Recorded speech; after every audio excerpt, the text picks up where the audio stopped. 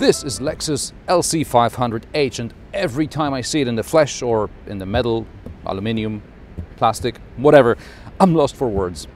Let's cut to voiceover, shall we? Every year I drive about 60, 70 cars, but only a handful turns other people's heads. I recall people actually stopping to talk about the Rolls-Royce Wraith or BMW i8. As far as Lexus LC500 is concerned, it made men behave like children and women Let's just say if I got into a fight with my girlfriend on the way to New Year's Eve party, I would not arrive there alone. What makes Lexus such a head turner? This car looks like it's constantly in motion and at the same time as if it was still on someone's drawing board. Huge grille, sharp cuts of headlights, floating roofline, huge wheel arches with 21-inch alloys bulging out of them, air intakes in the back, 3D rear lights, retractable spoiler, diffuser. And fake exhaust tips. You can see two small pipes in each one of them. I'm sorry, but in a 100 plus grand car, this should not happen. Not even in a hybrid.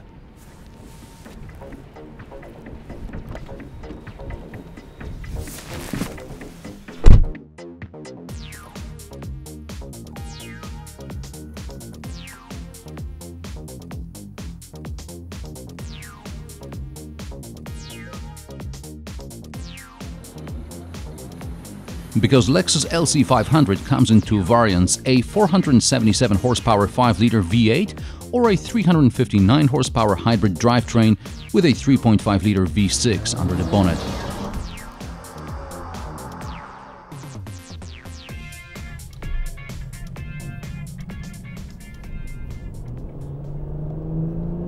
I can already see smiles being wiped off your faces because, I mean, what's the point of making a Prius GT, right? Well, there is method in this madness, and here's why. Sure, I know there's no replacement for displacement, and I liked being pushed into the seat as V8 growls away. I also appreciate comfort, so a V8 with a 10-speed automatic gearbox sounds like a dream come true. 4.7 seconds from 0 to 100 km per hour and just 8 liters per 100 km extra urban with 82 liters of petrol on board, you can drive from Berlin to Warsaw in one tank and hypermile back to Frankfurt on the other. But this is all just theory. I suppose nobody will be surprised to find out that even LC500H, the hybrid model, uses nothing close to 6 liters per 100 kilometers promised by the manufacturer. It's closer to 9 outside the city. I mean, that's still not too bad for a car which can do this.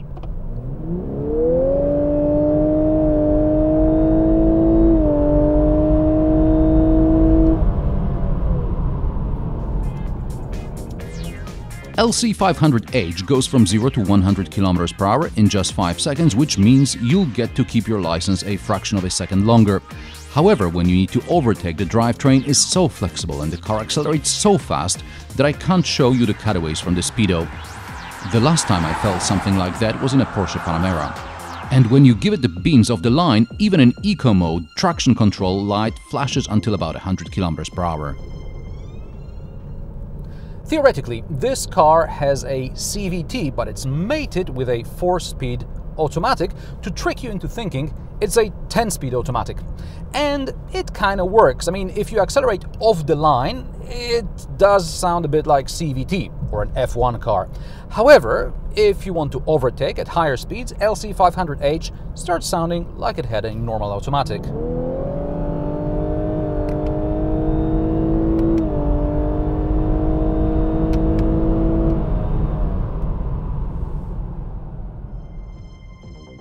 Interestingly enough, fuel consumption falls around the city.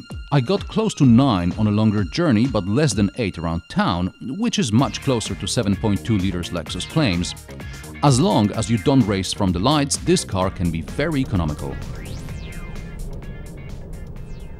And I suggest you don't race from the lights because this CVT automatic contraption is not the most effective of the line. It takes ages to turn everything into I would like to drive wantonly mode, and then the reaction to the gas pedal is so long that an M3 that was revving next to me a moment ago is now two lengths in front. On the plus side, once you turn off all the safety systems, LC500H is one of the few hybrid cars you could drift around the corner, but I suggest you don't, because a two-ton car on slippery surface is tricky enough and CVT doesn't help. As a long-distance cruiser, Lexus LC500H is very comfortable. Suspension copes well, even with rougher roads, and even on these 21-inch rims. The car is very well sound insulated from the front, but I can hear some wind noise around the rear intakes and spoiler. This is the top trim version with adaptive steering and all-wheel steering, so the car can be as comfortable or as agile as you need it to be. There is also adaptive cruise control, collision warning, active lane assist, but that beeps so much it spoils all the fun.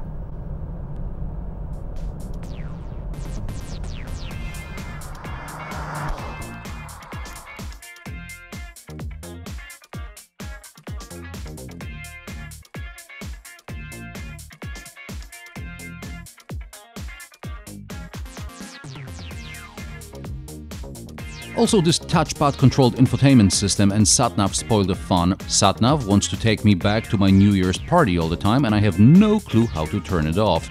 I could read the manual, but it's not in the tiniest of glove boxes. It's fascinating how Lexus designers spent time on creating this beautiful interior with door handles which would not look out of place on Dynasty, and at the same time used SatNav like from a 2008 Avensis. And this touchpad, aiming with it while driving is like playing River Raid. And SatNav is just the tip of an iceberg. If you want to control the heated seats and heated steering wheel, you have to find them somewhere in this menu. Another multi-stage menu is concealed within the gauge cluster, and I find it amusing that the button for deploying the spoiler is next to EV hybrid mode button. Nodes protruding from the instrument cluster shade make it look like Frankenstein's head. Although someone pointed out to me it could also look like Citroën CX cockpit. I guess it's more interesting than ordinary buttons. Everything here is beautiful, but not necessarily functional. Since I'm not going to be using built-in SatNav, I need a place for my smartphone. Cup holder seems like the only sensible place. There is another one here where I will hit every drink with my elbow. Storage under the armrest is relatively large, but access is a two-step job.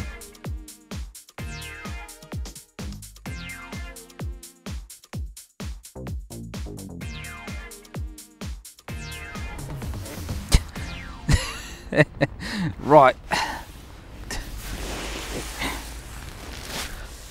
I'm not sure if there's a right way or wrong way of doing it, but whatever.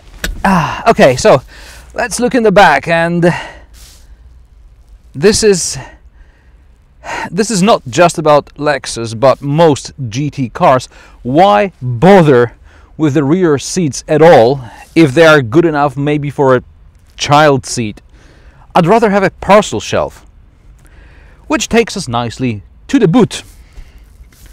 I just need to get out first. Come on. Comedy at its finest. I know. Oh, bloody hell.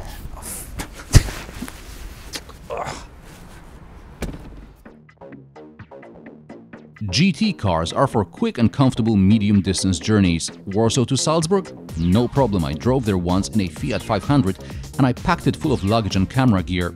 On the way back, I added a crate of wine. In LC500, I could barely pack clothes for two people for a New Year's party.